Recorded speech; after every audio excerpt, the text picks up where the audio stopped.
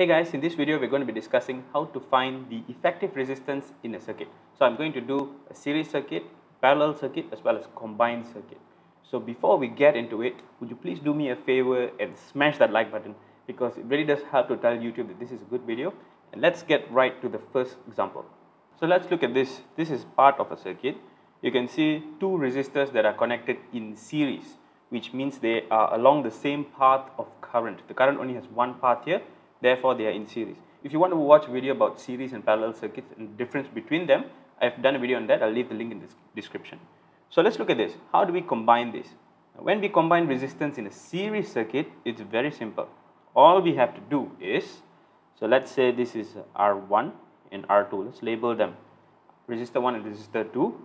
The effective resistance here, I'm going to use REFF for effective resistance.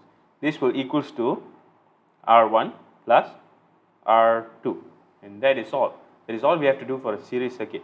So when we want to do for this circuit, all we have to do is add 2 ohms and 3 ohms. Ohms is the unit for resistance. So altogether here we would get 5 ohms. So the effective resistance across, let's label this as AB. The effective resistance across AB is 5 ohms. So we could see these two resistors as a single resistor with a value of 5 ohms. This is the point of doing effective resistance. We are combining the value of all the resistors put together and we can represent it as a single resistor of 5 ohms.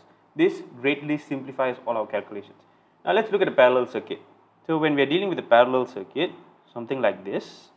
Now you can see it's a parallel circuit because when the current comes in, it is going to split into two paths.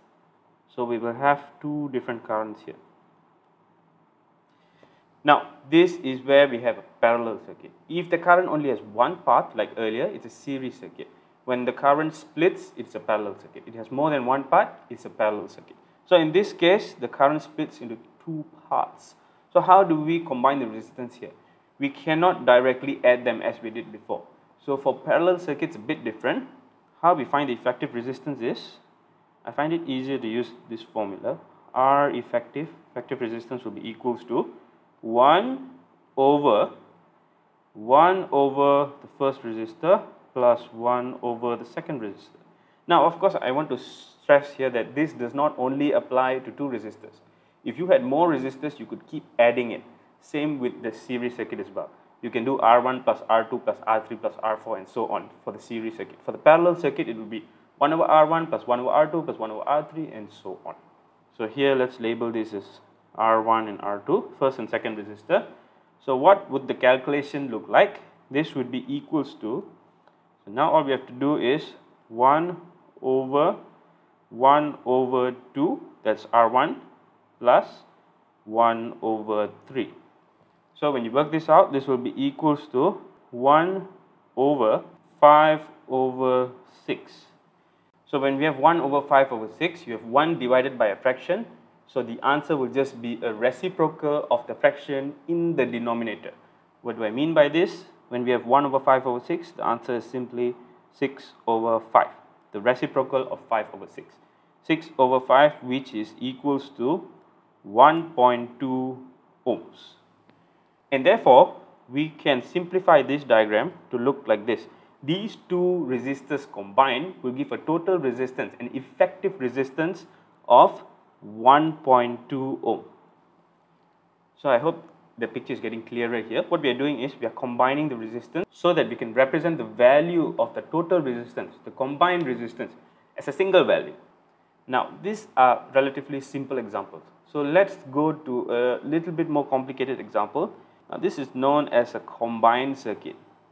So you can see this is a parallel circuit because when the current comes in here, it is going to split into two different parts.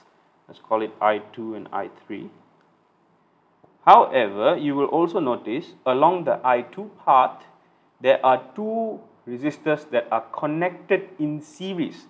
So R1 and R2 are actually connected in series and then let's call this R3. So what do we do in this case? Which formula do we use? We always tackle the resistors that are connected in series first.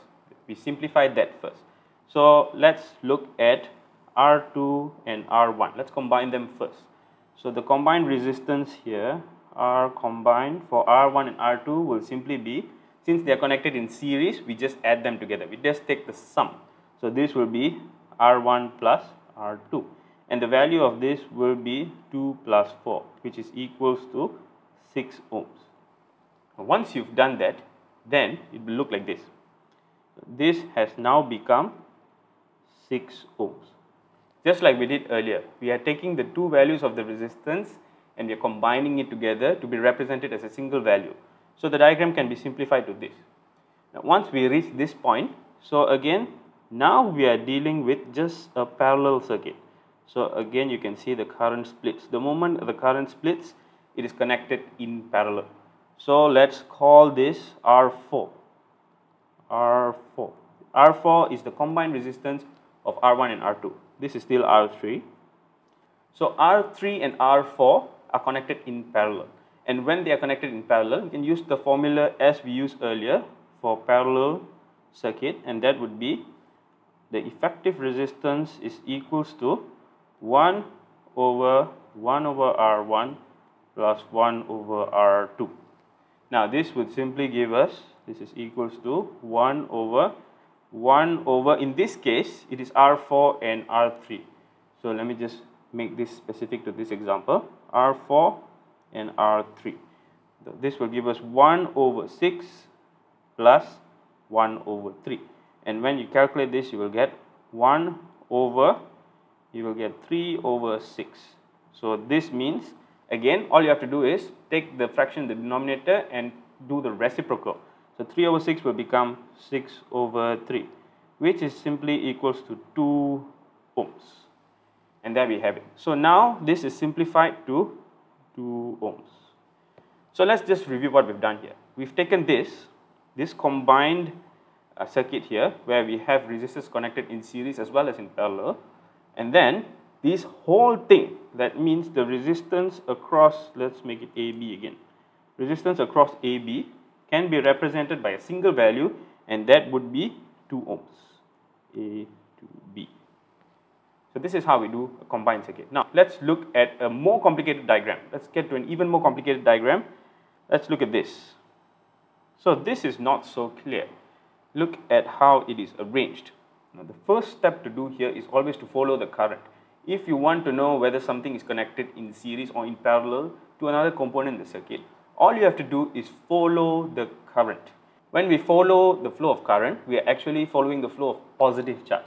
And this is why current is said to flow from the positive terminal of the battery to the negative terminal of the battery or whatever power source we are using, dry cell or any other power source. So we are looking at the current coming out from this is the positive terminal and the negative terminal of the dry cell. So the current comes out from here. Please keep in mind that electrons are not positive charges but negative charges. Therefore, the direction of flow of electrons is actually in the opposite direction not from positive to negative but from negative to positive. However, when we are talking about electric current, we are looking at the flow of positive charge, therefore come out of the positive terminal into the negative terminal. So let's follow the path of the current from the positive terminal. Now once it comes to this junction here, I'm going to label this as A. Once it comes to A, it's going to split and therefore we will have a different value of current. I'm going to call this I2 and I'm going to call this I3. So let's follow I2 and I3. I2 is going to flow through this resistor, let's call it R1 and R2. I2 is going to flow through the two resistors and then it's going to come down here and it's going to join back at this point, let's call it B. So let's follow I3. I3 is going to go through, let's call this R3, it's going to come down and then it's going to go through R4 and then again it's going to join at B. So I2 and I3 will join at B to come back as the initial total current that left the dry cell. So this is what is happening.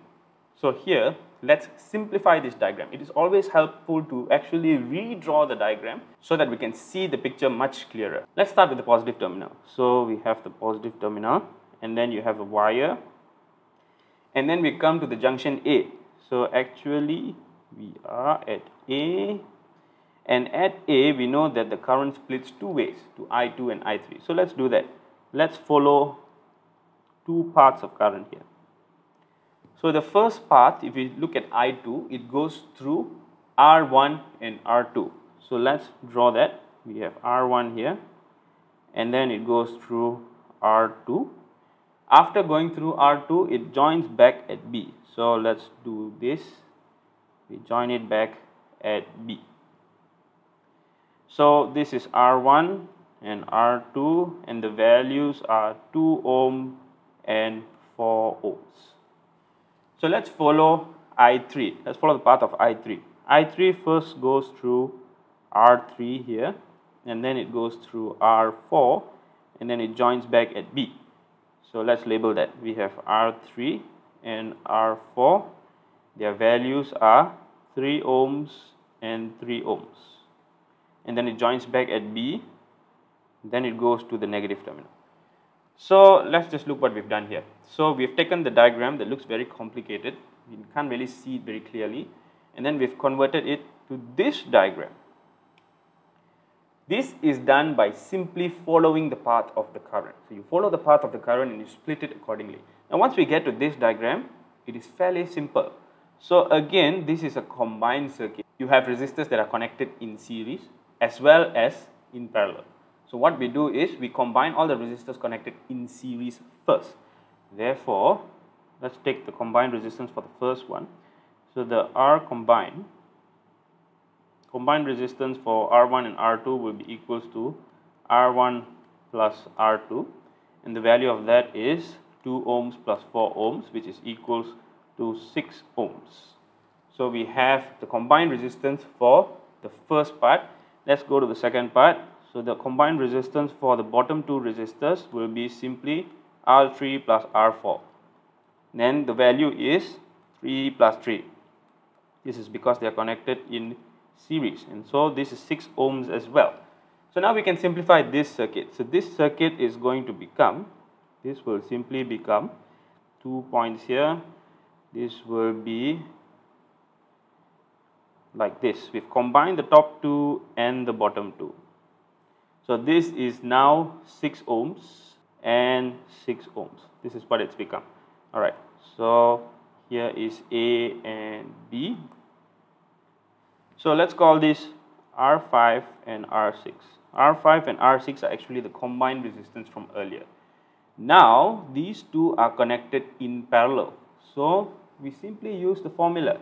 This will be equals to, so the effective resistance now, now we are getting the effective resistance of the whole circuit. This is equals to 1 over, let's use the example here, 1 over R5 plus 1 over R6 and this will equals to 1 over 1 over 6 plus 1 over 6. Now this will be equals to 1 over 2 over 6. Once again all we have to do is write it as a reciprocal of the fraction in the denominator. We get 6 over 2 and the value is 3 ohms. And so this whole thing can be represented like this.